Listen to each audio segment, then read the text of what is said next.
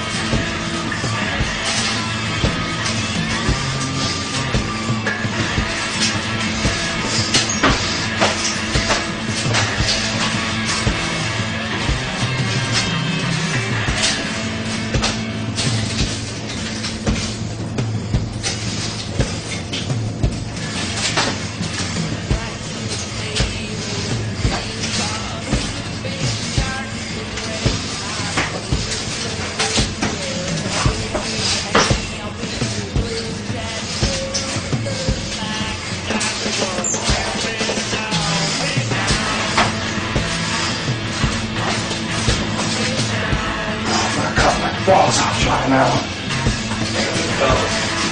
trying.